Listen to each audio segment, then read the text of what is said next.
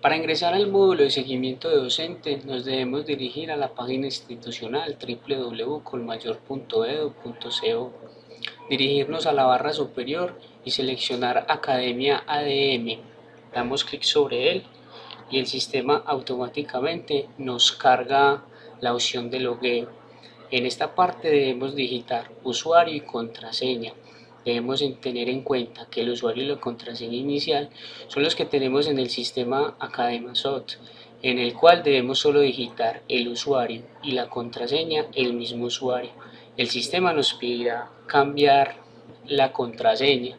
Seguimos los pasos y una vez cambiada la contraseña accedemos.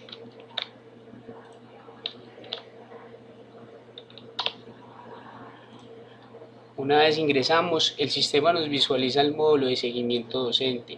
Damos clic sobre él. Una vez el sistema nos visualiza, podemos observar que podemos hacer consultas del grupo, la materia que tiene asignada cada docente. Si seleccionamos el nombre de, de algún grupo, si no es correcto, el sistema nos muestra vacío. Pero si colocamos el nombre correcto, el sistema automáticamente nos cargará el grupo. Igualmente lo podemos hacer para materia. Buscamos la materia que deseamos y el sistema, si existe, nos, lo muestra, si no, muestra vacío.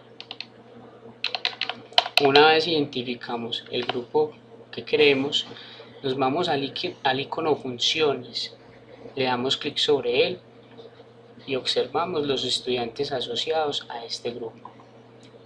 Si queremos ingresar las materias de cada uno de los estudiantes, nos debemos dirigir al campo Funciones, icono Editar. Eh, el maestro de modificar notas. Como podemos observar, tenemos el campo Notas, Faltas y Estado. Es importante tener en cuenta que al finalizar el semestre, que se encuentra en estado NP a P, la calificación le quedará en cero. Para ingresar la nota, solo debemos dirigirnos al campo nota y diligenciar la nota que queremos ingresar. Debemos tener en cuenta que no debe tener comas sino puntos. Y damos enter. Si está ingresada correctamente, el sistema nos, la guarda, pero si está ingresada inválido, el sistema nos mostrará unos mensajes de advertencia el cual los encontramos en la parte inferior a mano derecha de su pantalla. Volvemos y corregimos nuestra nota y la ingresamos correctamente. El sistema corrige. Eh, hay que tener en cuenta que dependiendo del número de faltas por el porcentaje de la materia, si es mayor este número, el sistema automáticamente bloqueará al estudiante y no dejará ingresar más notas. Para finalizar, damos en cerrar. Si se da el caso de que el estudiante perdió o cumplió el número de faltas, el sistema nos mostrará el usuario, el estudiante bloqueado y no nos permitirá ingresar más notas. En el caso de que fue un error y debes modificarla, debes dirigirte al área de admisiones para solucionar este, este problema.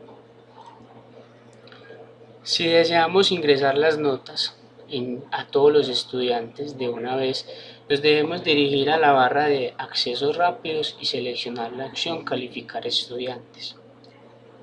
Esperamos que el sistema cargue.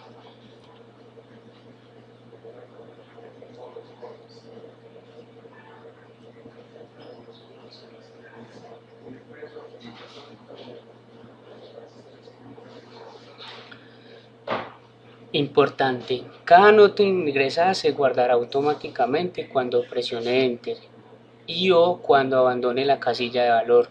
Solo puede registrar o modificar las notas que se encuentran habilitadas dentro del rango del calendario académico. Las faltas de asistencia se ingresan por horas en que falte el estudiante. Aquí ingresamos las notas como vimos en la opción en el video anterior. Seleccionamos la nota, las ingresamos a cada uno de los estudiantes, le damos enter y automáticamente nos la guarda y colocamos si ha faltado el número de faltas. Y para finalizar podemos tener la opción en accesos rápidos el listado de estudiantes, el cual podemos descargar en archivo Excel. Guardamos donde deseamos guardar y ahí tenemos la información de los estudiantes. Muchas gracias.